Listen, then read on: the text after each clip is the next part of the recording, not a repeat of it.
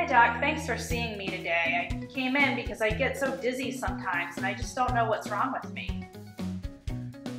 Oh, there are so many causes for dizziness.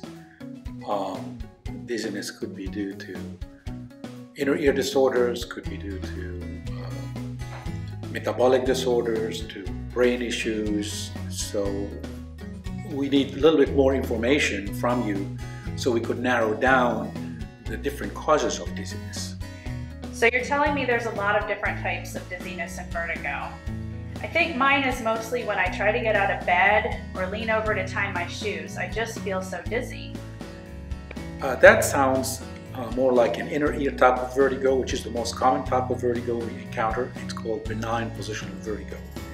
And that's due to crystals in the inner ear fluid that detach themselves from the center where they actually live and belong and become floaters. So when you change position like that, you feel the dizziness, vertigo. So how do you treat benign positional vertigo? That's pretty easy to treat. The first is to confirm the diagnosis.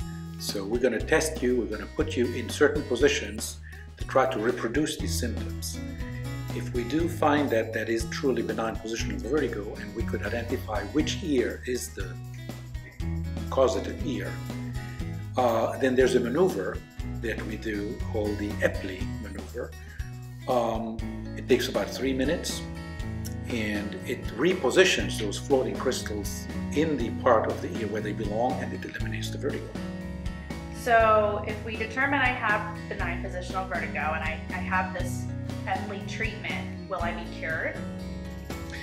You will be cured for a while. Uh, what caused these crystals to come off base in the beginning could still cause them to go off base again. So there's a chance of recurrence even after you are cured. So uh, once you're cured, you're done. You don't need to do anything else. But if the symptoms recur, you know that is a recurrence of the same and you return for another treatment. Okay, so I know I can get treated for benign positional vertigo with the Epley maneuver if it occurs again. Is there a chance that I could be more susceptible to other types of dizziness and vertigo because I've had this? Not necessarily. As I said, benign positional vertigo is the most common type of vertigo and it could happen to anybody at any time. It's definitely more frequent with age. It's more frequent in patients who have had head trauma, accidents, um, and patients who have had inner ear disorders. It does not necessarily uh, proceed into other inner ear disorders. Great, thank you so much. You've relieved a lot of my concerns today, Dr. Wazen.